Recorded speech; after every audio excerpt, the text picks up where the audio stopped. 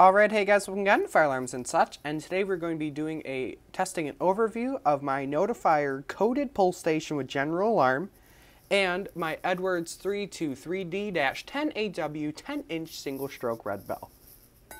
So you see I have this old, uh, this little system set up here. It is in the old wall test spot, which is why the wall looks like it does, along with my old heat bell and that old smoke detector I have. We got the bell, coded pull station, and then the hole where the power comes out of. So a lot of you may be thinking, what the heck is a coded pull station?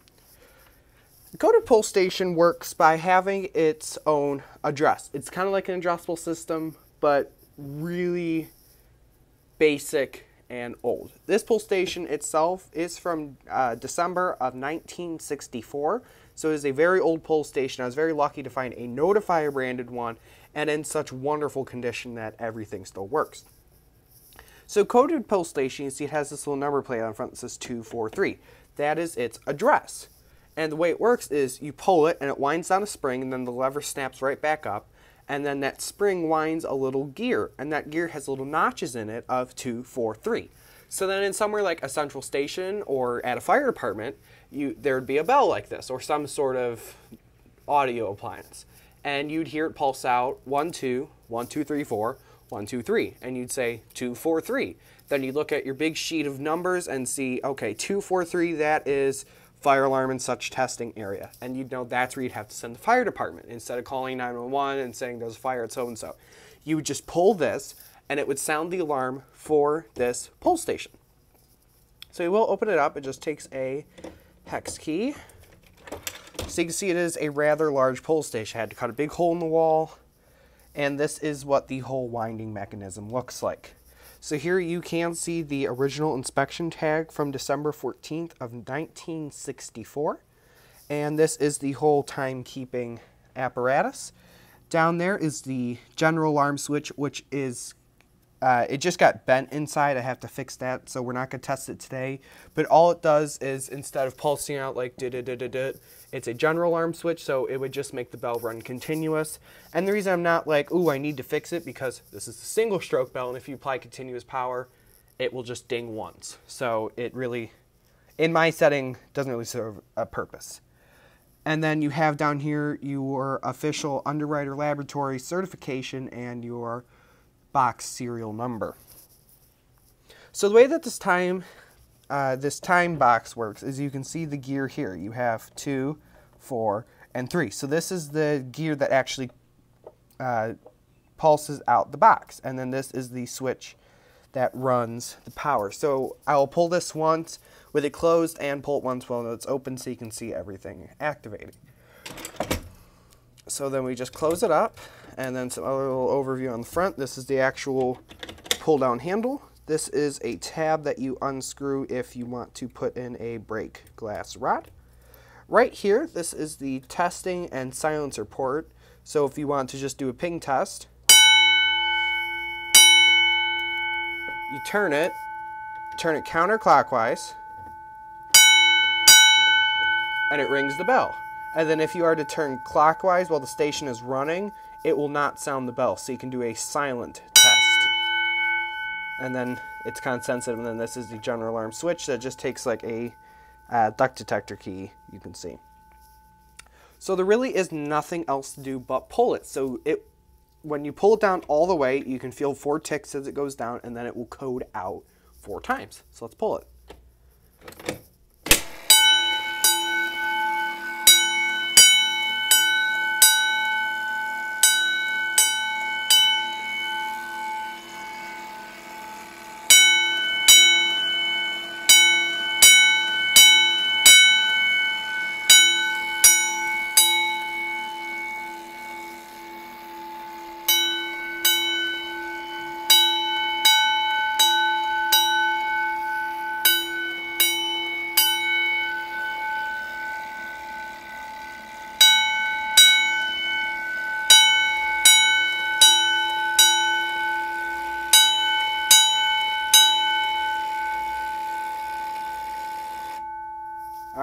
So it has done its four tones and alerts that there is a fire in this area. So if we go ahead and open it up, I can give you a little bit of a more detailed explanation of the mechanism inside. So if we open it up here, it comes down on a little support struts. Like I said right here, this is the switch that controls the actual coding of the pull station. Right here, this little T-bar thing going across, this is the governor. It uh, lets only one tooth at a time rocking back and forth so the whole spring doesn't just uncoil really fast. And there you can kind of see that uh, like copper looking coil. That is the coil spring that you can see kind of moving as, that winds up. Over here, this is that test and silent switch, and then this is a top part, so if you're working on it, you can work on it without having to go under. And then again, that is the general alarm switch. And then in there, it's just a couple different sized cogs to transfer the energy around, and then a ratcheting uh, ratcheting gear there so the lever can wind it and then go back to normal. So we will go ahead and pull it. We will run all four again. So I have my hand on the lever and I will pull to wind. And you can see everything begins inside to move. It's clicking and then I'll release and it'll start going.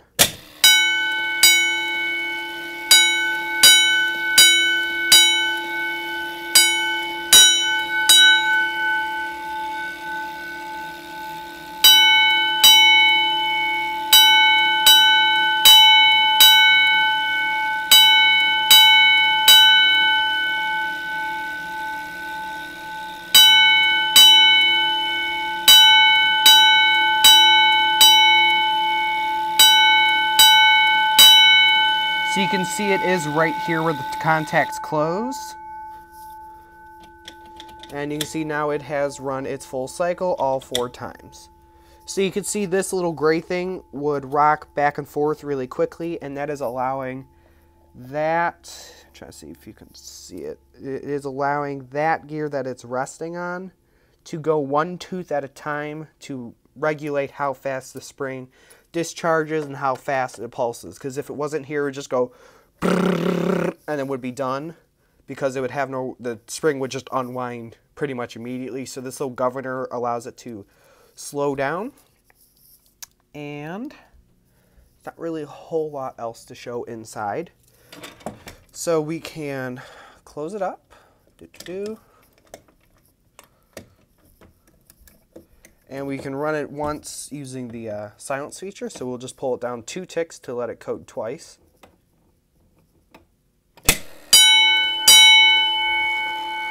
And see if you turn it this way, then that allows you to make sure everything is working without sending a alert to the central station. So as long as you hold your uh, hex key in here, it won't chime, but if you release it, it will.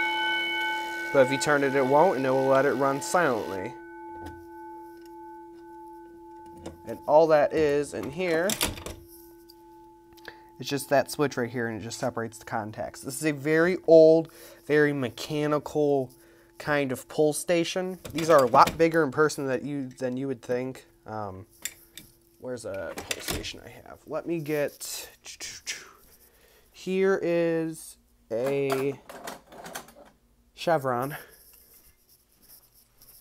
next to it, if that gives any indication of how big it is. Let me close it up.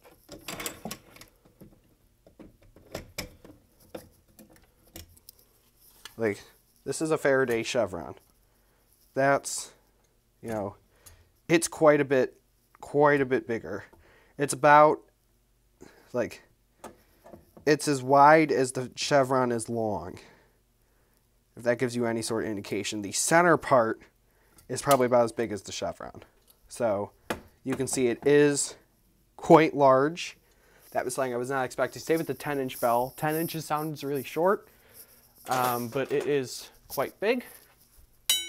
And the way it works is, uh, you might not be able to see, I don't want to take the whole bell off. There's a little, there's this little hammer that every time power is applied, it powers magnet inside, and that repels the hammer, the striker up, and it sits up until power is taken away, which is why it's single stroke, because every time power is applied, it just goes up and stays up, hitting the bell. So, that has been a testing and demonstration of my new Notifier coded pull station. So, thank you guys for watching, and as always, have a wonderful day.